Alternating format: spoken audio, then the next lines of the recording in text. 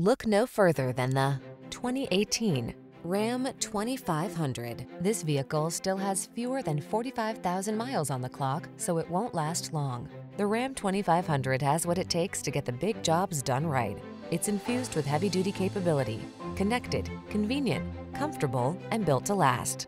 The following are some of this vehicle's highlighted options. Keyless entry, remote engine start, power passenger seat, fog lamps, backup camera, dual zone AC, aluminum wheels, heated front seat, electronic stability control, power driver seat.